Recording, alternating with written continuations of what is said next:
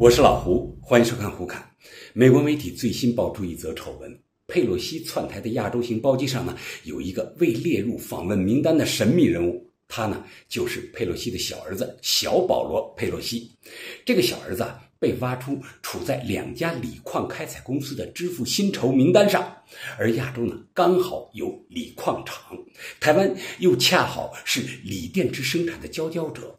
此外呢，他还投资新加坡的能源业，而新加坡又刚好是佩洛西访问的另一站。佩洛西呢，本来就因为她的老公保罗·佩洛西投资股票赚得盆满钵满，而被怀疑是他提供了内幕消息。如今呢，他又顶风作案，把经商的小儿子带入了自己的亚洲行程。佩洛西辩称让儿子同行是为了给自己做陪护，可是谁信啊？鉴于美国政商勾结的传统，人们都认为佩洛西在利用这次访问为他儿子拉生意、建人脉。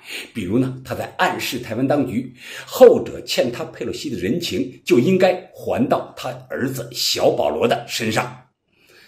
佩洛西一家子可谓啊，美国政商勾结的缩影。据披露，佩洛西一家去年的股票收益率高达。百分之五十六点一五，远超股神巴菲特的股票收益率，在国会山排第二，而排第一的是参议院共和党领袖麦康奈尔。而自二零一九年至二零二一年第四季度，佩洛西一家的投资组合在这段时间内增长了百分之九十六，几乎翻番了啊！政商勾结是政治腐败最通常的表现。大家知道啊，为了防止权力被用于不正当牟利。中国呢，已经宣布，厅局级以上官员的直系亲属不得经商，不得在非公有企业中担任高管，为的就是彻底堵住这个漏洞。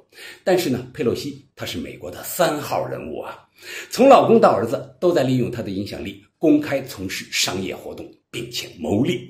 美国舆论不是傻子，但呢，却拿她无可奈何。这次佩洛西访问亚洲，美国媒体记者当然能够发现他的小儿子也在专机上，但是那么多天里，媒体上对此一个字的报道都没有。那些记者在帮着佩洛西隐瞒，人们后来是通过一些照片上认出有他的小儿子，事情呢才曝光出来。政商利益相互交织，并且呢彼此推动，这在美国既是潜规则，也是公开的现实。特朗普竞选总统前，他就是商人啊。他当总统后，把一些会议代表团的住宿公开往自己的酒店里拉。有的时候呢，用不着他拉，副总统彭斯他们那些人就帮助他拉。这些呢都不用避嫌，老板当上总统，促进自己的生意。佩洛西老公和儿子搞点内幕消息，通过他拉一些生意，又能算啥？美国官员与商界的旋转门更是大摇大摆的存在，像中国官员退休后不得经商，去哪个地方兼职不得取酬，这些限制在美国完全都没有。美国舆论是有抱怨的，但那些抱怨总体上很微弱，起不了推动和改变的作用。不是说啊，媒体上曝光了佩洛西的丑闻，网友们一起骂，调整就必然发生，佩洛西也在职位上坐不住了。美国它不是这样的逻辑，美国舆论似乎什么都能说，但说了也白说。原因是美国的媒体也都是资本控制的，美国整个国家的政治运行都由资本主导，它是地地道道的资本主义。资本的权势在美国最大，资本扩张的逻辑，他们与政坛的相互利用关系，没有任何力量可以撼动。所以呢，美国社会实际上对政商勾结已经认了啊。